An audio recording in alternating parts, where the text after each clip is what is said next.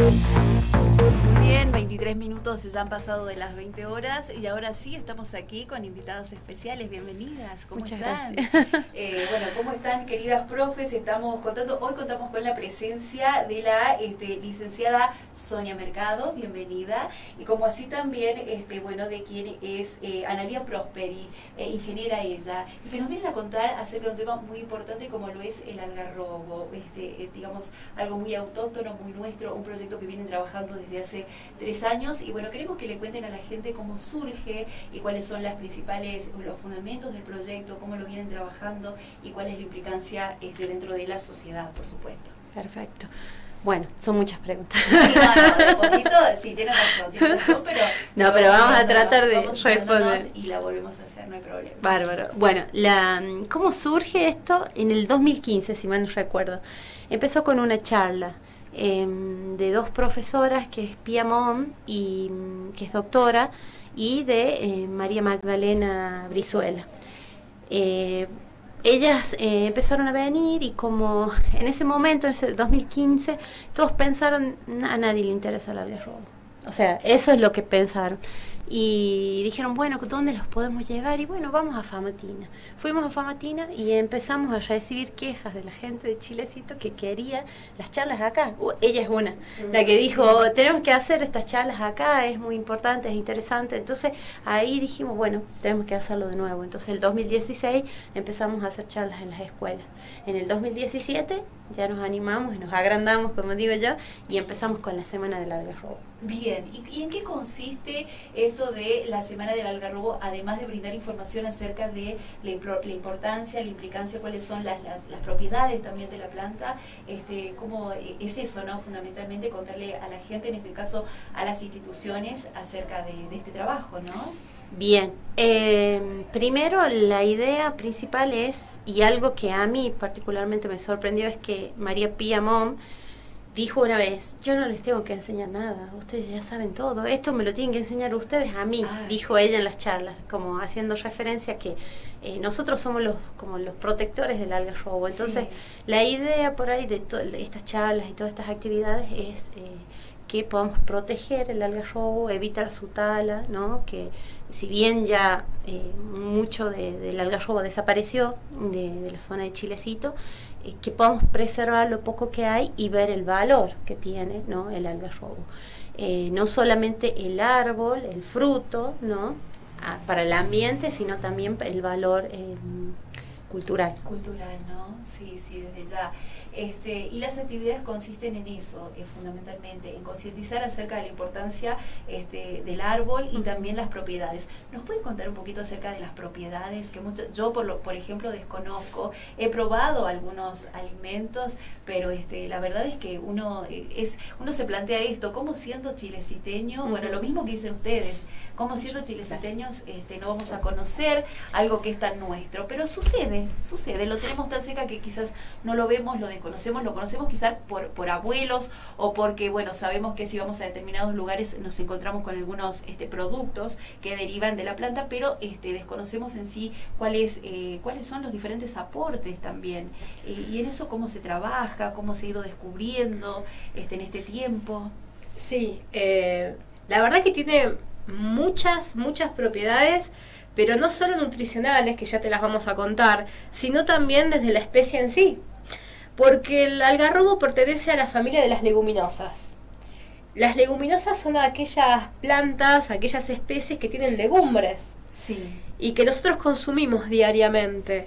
Eh, consumimos diariamente con las arvejas, con las lentejas, con los garbanzos. Y es una de las, de las, de las especies que tienen mayor eh, valor proteico nutricionalmente. Entonces el algarrobo tiene eh, en sus frutos ese valor proteico que cuando lo transformamos en harina del garrobo y lo transformamos en patay o en la incorporación de esa harina a los alimentos que consumimos diariamente, estamos realzando el valor de ese alimento y nos está proporcionando desde eh, aminoácidos que, esenciales, proteínas, minerales como el calcio, como el magnesio, que es superior a cualquier otro alimento. Eh, en los niños capaz que vamos em, dando la, la, costumbre de que consuman los cereales con el yogur. ¿Y por qué no les damos harina de algarrobo con el yogur?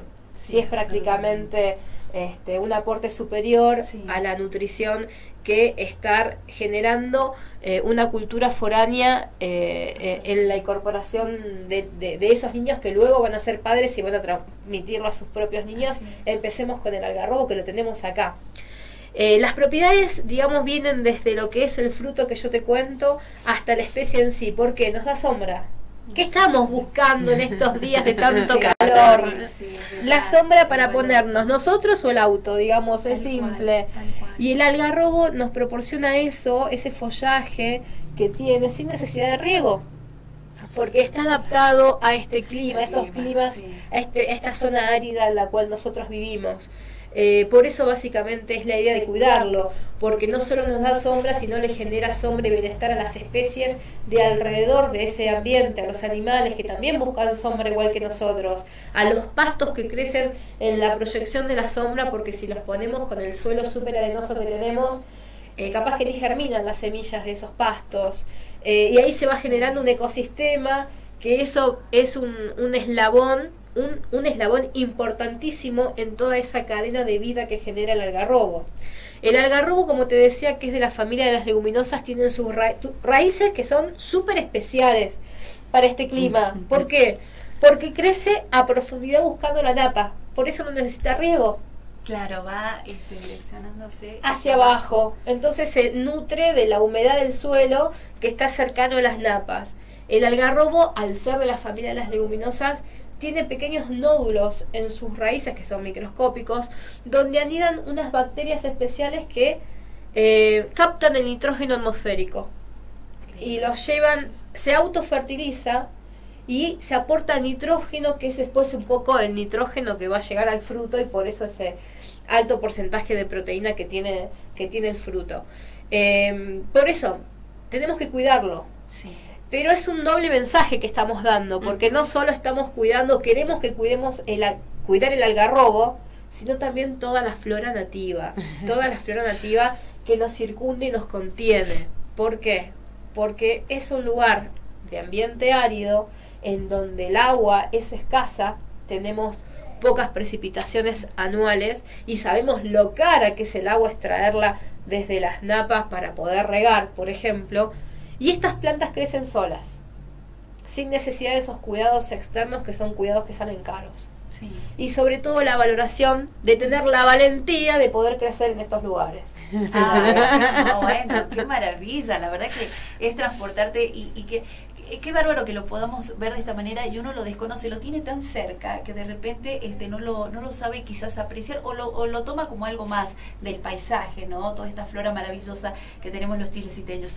Hoy en el Día del Turismo, este, respecto del valor entre relación turismo-cultura por allí, ¿no? Este, desde este lugar, eh, cómo podemos reflexionar acerca justamente del cuidado, no solo por una cuestión del turismo como actividad económica, sino también por el baluarte este, cultural, ¿no? Este, de lo nuestro. Cuando vienen los turistas, esto de este, visitarnos y conocer nuestra flora y nuestra Es, es eh, muy llamativo, o sea, yo cuando me meto, yo sabía algo del algarrobo, pero no sabía tantas cosas como sé ahora.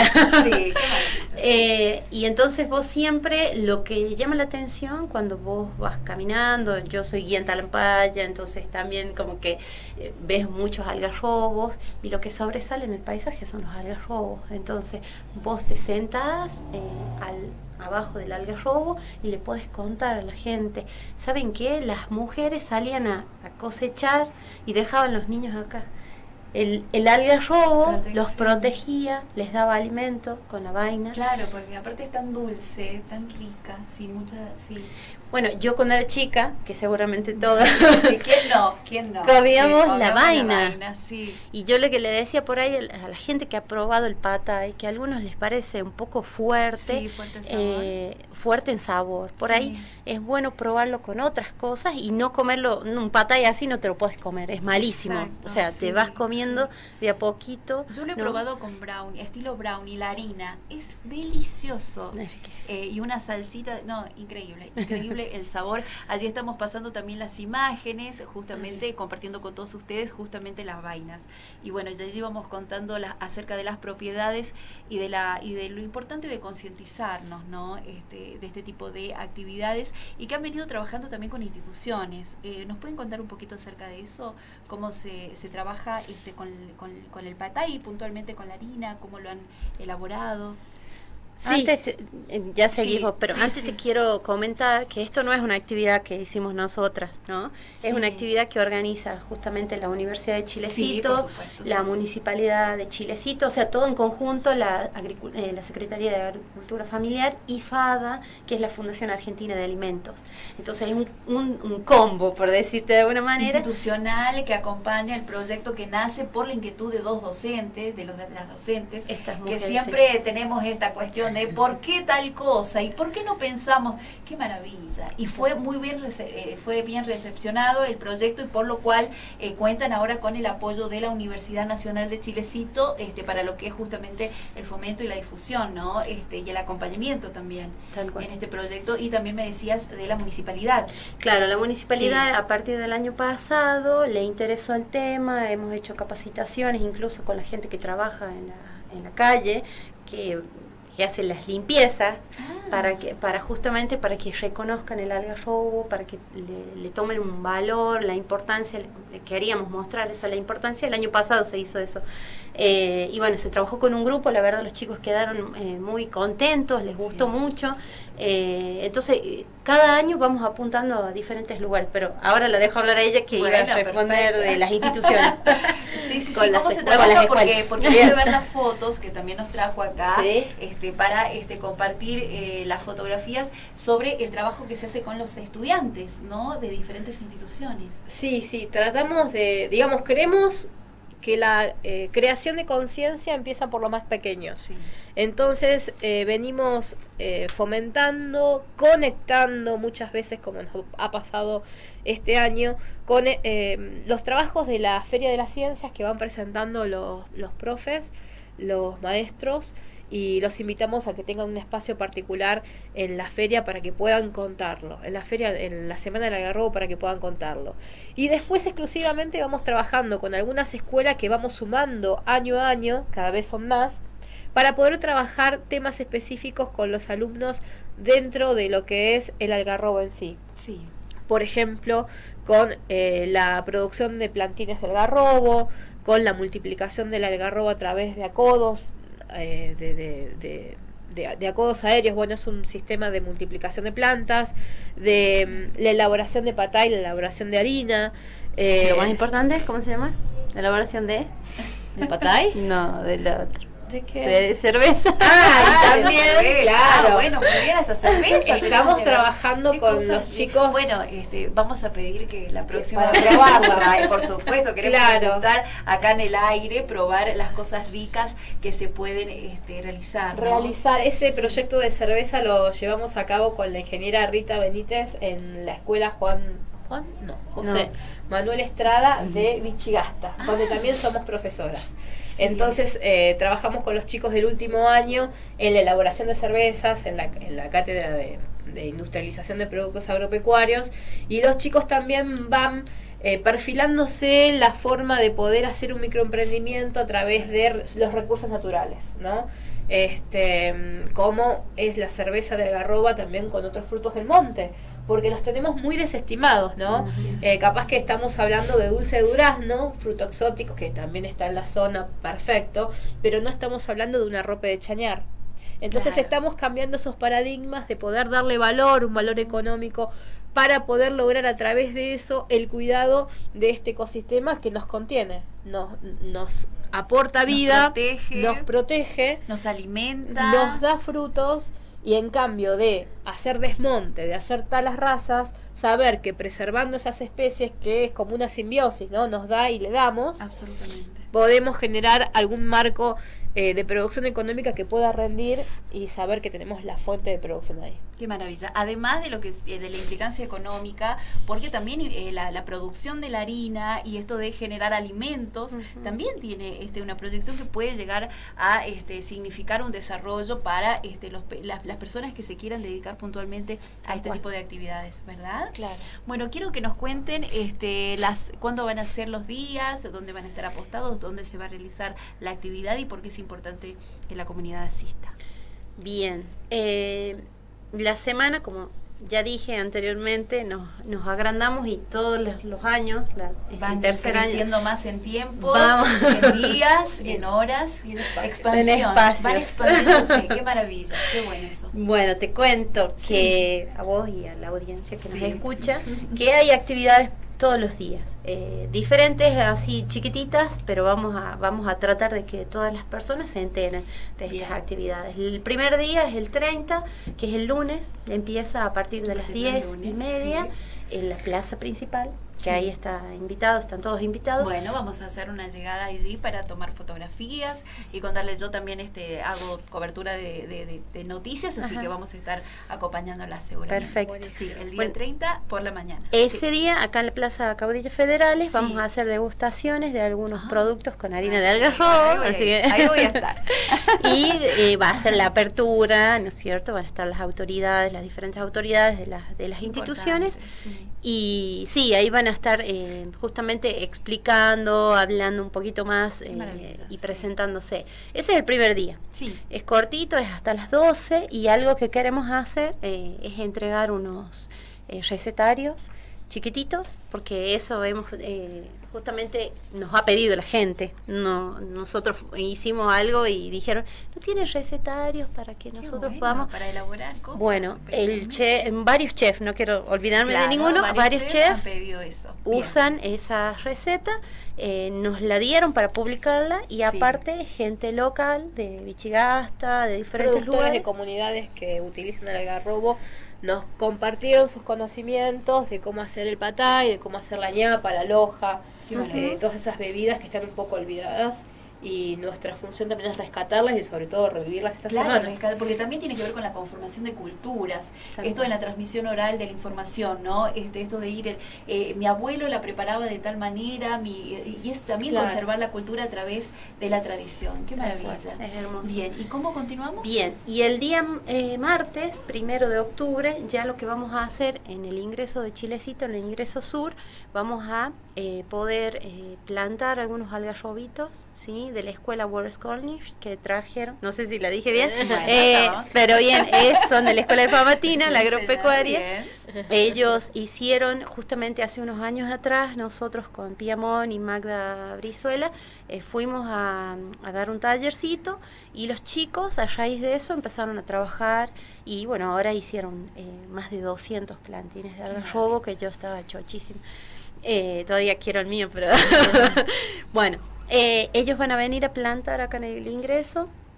Eh, después de esa plantación vamos a, hacer en el shopping como un encuentro de escuelas donde cada escuela va a presentar qué trabajó sobre el algarrobo.